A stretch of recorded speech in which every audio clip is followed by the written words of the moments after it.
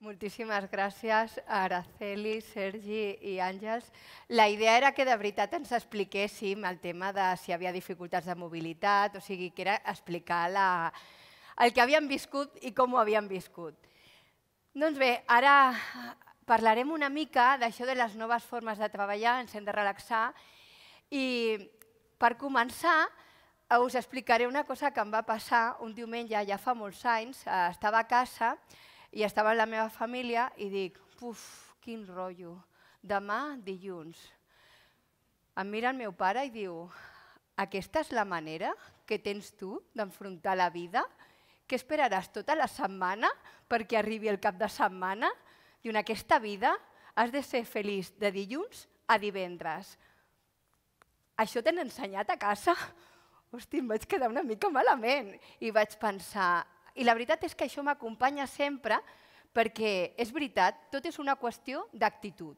Mireu, eh, jo quan vaig començar anava a la feina treballar, eh, caminant, la tenia al costat de casa, podia dinar a casa, tornava a la feina, però els horitzons se'n quedaven curts. I jo volia marxar, jo volia fer coses noves i un dia, en una xerrada, vaig sentir una empresa que explicava coses i tal, i vaig dir, jo vull anar a treballar allà. I vaig enviar això, mig allò, i el currículum, i em va costar tres cops decidir-me que volia fer el canvi. I havia d'agafar el cotxe, havia d'agafar transport públic, o sigui, havia de fer una mica de gincama perquè havia canviat la, la meva vida. Però després, en aquesta empresa on vaig entrar l'any 2002 eh, fins al 2018, em va passar una cosa. I és que vaig viure tres processos de fusió i tres processos de trasllat i no es van donar en el mateix temps. O sigui que us asseguro que vaig haver de gestionar el canvi. I no és fàcil. Us puc dir que és una qüestió d'actitud i és evident, però no és fàcil. Mireu, eh, la fusió, la rumorologia és brutal, perquè sembla que tothom marxarà, clar, en el, cap, en el cas de la privada, tothom els faran fora, eh, desapareixeran les divisions on estàs treballant, o sigui, uns canvis brutal. I allò del trasllat, fu, jo sempre ho he de pair, perquè això ens suposa eh, que, eh, quin transport agafaré, no visc a Barcelona, quin transport agafaré, com ho faré, o sigui, un canvi. Però al final, quan porto tres dies, dic, hosti, no era per tant, Esther, perquè t'has passat pensant allò que semblava un trauma i després de tot, doncs mira, tinc facilitat per adaptar-me, això sí que és veritat. Doncs bé, amb els processos de fusió me'n recordo una vegada que li vaig dir al meu equip, s'ha acabat. Nosaltres no potenciarem els rumors. Nosaltres anirem amb el nostre dia a dia i treballarem i el que vingui, escolta, ja vindrà. Doncs quan va acabar un dels processos de fusió, eh, el meu equip em va, em va agafar un dia i em va dir Esther, gràcies. I jo, gràcies? Perquè ens ha, has, bueno, hem viscut diferent el procés de fusió i saps què? No ens hem fet mala sang per coses que n'hi han passat. Doncs mira, hem après d'aquesta, jo almenys he après d'aquesta vivència. I ara parlem d'això de les noves maneres de treballar de, des d'una perspectiva complementària a la del Guzman. Primer, parlem de la introducció de metodologies i això que suposa en el dia a dia, perquè sembla que allò de les noves maneres de treballar sigui una cosa molt abstracta, no? que està allò... Doncs bé, com l'aterrem? Doncs suposa que estem canviant perquè la societat està canviant també i el que espera la societat de nosaltres és que canvien en la nostra feina. Doncs això suposa incorporar en el nostre dia a dia, per exemple, les metodologies àgils. I està molt bé dir que no estem preparats com a organització per incorporar les metodologies àgils. Però sabeu, mai ho estarem si no ho incorporem nosaltres, cadascú de nosaltres si s'ho creu. I anem a un espai on ens faciliten a treballar d'aquesta manera diferent. Per què? Aquest, això de la metodologia àgils, per què no comencem en els nostres projectes, donant que tots tenim molta pressa i no podem esperar quatre anys per tenir un projecte, anem pel mínim producte viable dels nostres reptes, dels nostres projectes i anem a treballant. I això suposa un canvi i una adaptació. Eh, Jordi Xesca ho estem visquent en un projecte i sabem que no és fàcil, però és un repte que ens agrada, no? Parlem de la innovació, hem parlat de la cocreació, d'aprofitar els espais d'innovació, tot això, doncs bueno, aprofitem aquesta tècnica i la incorporem en els nostres projectes. No m'he d'anar molt enrere. Ahir, en, en algunes persones de, de l'equip van fer una sessió per prioritzar, perquè eh, es veu que tot no es pot fer, eh, això ho he dit amb frustració, eh, i al final has de prioritzar. Doncs van fer una sessió amb pòstits, dinamitzada, on van poder prioritzar i van dir el que podrem fer al 2020, el que potser podrem fer al 2020 i el que hem de deixar pel 2021. Doncs bueno, això ho hem incorporat ja a les nostres reunions, ja no només als nostres projectes, sinó també a les nostres reunions. Ho estic païnt encara, eh? no, no ho he superat. La tècnica boníssima, però jo estic païnt. I a la tercera, el tercer eix és allò de l'orientació a la dada. L'orientació a la dada perquè ens afecta a cadascú de nosaltres, no només els que han de prendre decisions, sinó la dada des del moment que la recopilem, com la gestionem per poder prendre decisions. Doncs bé, tot això ho hem d'incorporar en el nostre dia a dia i, i evidentment hi haurà formació al respecte. Parlem del que són eh, els espais, no? els usos d'espais. I aquí distingim dos grups, el que és l'espai virtual i el que és l'espai físic. Ens centrarem en l'espai virtual, treballar en mobilitat. Hem vist que ens podrem anar a la cantina a poder treballar, a que podrem estar a la, al jardí amb el nostre portàtil, perquè tots tindrem un portàtil, i ens podrem anar al, al jardí en aquell moment de reflexió no? per dir necessito estar sol, perquè a més tindrem connexió wifi a tot l'edifici i això ens ho permetrà. Doncs bé, quin és l'equipament mínim que tindrem? Teniu el document allò, però per recordar, parlem de treball en mobilitat i aquest treball en mobilitat no es pot fer si no tenim un portàtil i a més ja quan estiguem a la nostra taula, de moment molts equips tindran taula assignada, perquè tenim allò del sentiment de pertinença i els hàbits els tenim molt arrelats, no? però eh, de moment amb taula assignada, però taula neta, política de taula neta, cada dia hem de recollir totes les coses, les hem de guardar i deixar la taula superneta perquè quan vinguin allò sigui pim-pam. I a més comencem el dia allò de avui com posaré això, no? Doncs bé, uh, què representa? Tindrem el portàtil, eh, per tant, pantalla al portàtil i una pantalla sobre taula, el teclat, el ratolí i quan jo vulgui anar a una sala d'innovació, quan vulgui anar a un vagó, quan vulgui anar a la cafeteria, em porto el meu portàtil, quan calgui, evidentment, no, no serà tot el dia jo amb el portàtil a tot arreu, vaig al lavabo, al portàtil, no cal, no cal, que també es pot parlar sense portàtil, eh? no cal. Doncs bé, eh, això és el que tindrem. Però això, aquest és l'equipament i, evidentment, aquest equipament virtual s'ha de complementar, aquestes sales també s'han de complementar amb els entorns col·laboratius. I sabem que cada departament que marxem allà estem treballant en el desplegament de l'Office 365, que és l'entorn que farem servir perquè ens ajudin allò a no tenir mil versions del document al correu electrònic que dius quina era la darrera de la darrera perquè està la final, la final definitiva, la definitiva de la definitiva, no? que està tot això ho tenim, eh?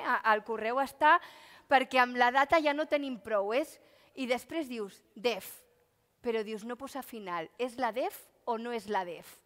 Doncs bé, això ens ajudarà a l'entorn col·laboratiu perquè tindrem el versionat dels documents, podem treballar alhora en el mateix document, a més tenim el Teams. L'altre dia vaig fer una reunió la resta no em veia. Estava, no, estava al hall de l'Smart City World Congress, fem una reunió precisament del projecte de desplegament de l'Office 365. Da igual, no tenia temps de desplaçament, tenia una cosa, i això ens, ens ho permeten les, aquests entorns col·laboratius. Uh, què més tenim? Això no és un repte, treballar sense paper, mare meva. Us explico, eh, jo era una aficionada superfan del paper i dels bolis de colors jo obria no? i era el rosa, el verd, el blau, el lila, encara els tinc, però no els faig servir gaire. I clar, allò d'imprimir, i com si fos una mestra, que algú em deia, però és que és la teva professió frustrada, i jo, pim-pam, pim-pam, i aquí això ho subratllo i poso les anotacions. I després això m'ho portava a l'ordinador i feia els canvis. Fins que un dia em van passar dues coses. Vaig dir, evidentment, Esther, això és ineficient, purament eficient, ineficient, perquè fas les anotacions, ets més ràpida en l'ordinador, escolta, però clar, necessitava doble pantalla, això sí que és veritat. Eh? I després, una altra que em va passar, dir, com pots anar a, a, als clients en aquest moment a parlar eh, eh administració electrònica, tot això, i que tu vagis en paper, mare meva, és que és una contradicció. Per tant, un dia vaig dir, fora paper, no imprimiré i, evidentment, Ranking Sistemes em va dir Esther, perfecte que no fas servir el paper. Del teu ordinador no surt cap, cap impressió. Gamificació a tope. Doncs bé, què em va passar? A més, doncs que és veritat que va ser un canvi, una pauta per mi, però també per l'equip, perquè van començar a treballar d'una manera diferent. I això es fa de manera, evidentment, gradual. És cert que jo sóc molt brusca, ja dic paper zero, doncs que sapigueu que els, els departaments que hi anem al districte, tant justícia, economia, um, una part d'empresa i PDA, estem treballant en el desplegament del projecte de paper zero i amb accions transversals i conjuntes. Doncs bé, hem parlat d'aquest espai virtual, anem a aquesta diversitat no, de, a l'espai físic, on ens podrem trobar la nostra, la nostra taula, la nostra cadira, i dic nostra perquè hem dit que en, el, en la majoria dels casos estarà assignada, però després tenim el què? Els vagons, eh, sales de concentració, sales de reunions, sales d'innovació, doncs tot això eh, estan allà i l'hem d'incorporar en la nostra dinàmica de treball. I l'única manera d'incorporar-ho és començar a treballar amb les metodologies que us apuntava al principi, perquè així serà molt més fàcil. Evidentment, tots aquests espais ens ajuden a treballar d'una manera diferent, però vosaltres hem dit, sou els referents, heu d'inspirar els vostres equips i heu de donar exemple, que abans ens ho comentaves doncs convidem a que, a que això passi. Però, evidentment, anem a un espai diferent, espai obert. Això que representa? Doncs que hi ha uns codis d'ús que hem de fer servir i no serveix allò de Pili, sisplau, pots portar... I no, perquè hem de parlar, o sigui, penseu que tindrem taules d'illes de 4, de 6, i si nosaltres fem això, molestem els que estan al nostre voltant. Per tant, el que hem de fer és un codi de conducta per dir, no es crida, i és veritat que es poden produir situacions escolta, et dic una cosa, un moment, et poses allà, parles fluixet, i això és veritat que passarà. Però sí que és cert que quan la cosa s'allarga, si plau, anem a un altre espai perquè estan habilitats perquè no molestar a la resta de companys també que estan treballant i que necessiten concentració. Això és important tenir-ho present i que no condicioni després el dia a dia perquè eh, he de dir, ho he viscut. I venia algú i et deia, a mi em van passar dues coses, treballar en espai obert i un dia et diuen et traiem del teu equip i has d'anar a un d'espais compartit. I penses, no, jo vull estar amb el meu equip i, i fas així, no? Diuen, no, no, que has d'anar cap allà i tu no. I el que feia jo? Doncs que hi havia ja un foradet i cada cop que tal sortia i ja estava ja treballant amb, a, amb l'equip, no? en l'espai obert. Però sí que és cert que aprofitava l'espai, l'altre espai per les reunions perquè clar, necessitem parlar, es necessita molt parlar, però si us plau, no ho hem de fer en l'espai obert. Què més coses? Doncs que parlem de treballar d'una manera diferent, treballem d'incorporar aquestes, eh, els usos de l'espai i això significa que les organitzacions han d'haver-hi canvis en el lideratge, en el lideratge que cadascú de vosaltres eh, bueno, podeu impregnar a les vostres organitzacions. I algunes coses que canvien del lideratge tradicional versus el nou lideratge. I què, què ens diuen? No? Doncs que fins ara nosaltres teníem un cap, no? però resulta que ara el que busquem és un líder, una persona que ens inspiri. I moltes vegades aquest líder no té per què ser el nostre responsable jeràrquic, sinó hi ha persones al nostre voltant que ens inspiren i ens ajuden a desenvolupar la nostra tasca. Passem també del tenir, tinc el meu despatx, tinc tal, A al C, no? aquella qüestió de soc sostenible, soc eh, paper zero, soc eh, usuari dels entorns col·laboratius, doncs tot això són canvis que s'estan produint. Allò del jo i fomentar la competitivitat en l'organització eh, som nosaltres i treballem de manera col·laborativa, perquè està demostrat que quan treballes de, man de manera col·laborativa els resultats s'incrementen. També hem passat de, o estem passant d'organitzacions on predomina aquesta jerarquia a la redarquia, perquè depenent del moment pots ocupar un rol, un altre rol, més enllà de veritat de la teva categoria, de la teva funció, sinó el paper que tu estàs desenvolupant en l'organització i en un projecte determinat. També passem d'organitzacions que pensen només en el curt termini a organitzacions que pensen també en el llarg termini, malgrat que també en l'administració hi ha limitacions. Eh? La nostra ment són sempre les properes eleccions. Parlem també d'organitzacions rutinàries i que en els processos de selecció, en la seva manera de fer, el que fèiem era que nosaltres desenvolupéssim sobretot el nostre hemisferi esquerre del cervell, que és el de la raó. I ara, precisament, quan parlem de noves competències, noves maneres de fer, el que es pretén és persones creatives, persones que desenvolupin la seva part dreta del cervell, que és precisament la que ens aporta la creativitat, la capacitat d'adaptació, etc. Parlem també que ens hem centrat molt en aquestes organitzacions més tradicionals en el producte que volem oferir i precisament ara cada vegada més parlem de que nosaltres dissenyem serveis centrats en l'usuari. Per què? Perquè estem centrats en les persones. Avui estem aquí perquè ens centrem, per exemple, en les persones, perquè sou el motor i la palanca del canvi. Però clar, diem, canvia el lideratge a, a les nostres organitzacions anem una mica de retard i estic anant molt ràpida, que m'estic saltant moltes coses, però acabarem.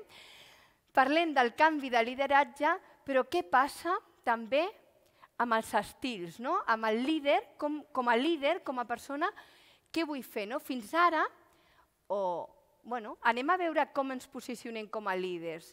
Fins ara, el líder controlador, no? ho tinc tot sota control, això, tal, tal, tal, les persones les he de tindre aquí perquè si no potser no treballen, eh? potser no treballen. Doncs tot això són canvis que hem de viure, hem de gestionar internament i què passa? No? Hem passat, el líder controlador és aquell que dona ordres. Què més passa? Ven només les seves idees, que són les bones, evidentment. Les del seu equip no tenen tanta importància. Dirigeix, evidentment, i es demana que dirigeixi, decideix per si sol, perquè el líder controlador considera que per això no? està a l'organització, delega, evidentment, persona orientada a resoldre problemes, fixa els objectius pel seu equip i, evidentment, fa ús de la seva autoritat. Però resulta que hem dit que canvia el paradigma del lideratge, està canviant en les organitzacions. Per tant, potser aquest lideratge controlador que està molt bé i que ha vingut molt i que ve molt bé a les organitzacions, què passa que ha de canviar una mica quan ens treba treballem en nous entorns i que volem incorporar aquestes noves maneres de treballar. Doncs volem líders facilitadors. I això què suposa? Doncs és el líder que escolta, però que fa una escolta activa, que a més, abans de decidir, evidentment el que fa és preguntar al seu equip, pregunta a l'organització. Dirigeix el procés. No només ha de dirigir, sinó ha de dirigir el procés grupal del seu equip, de les persones amb les que treballa. Aconsella, ensenya,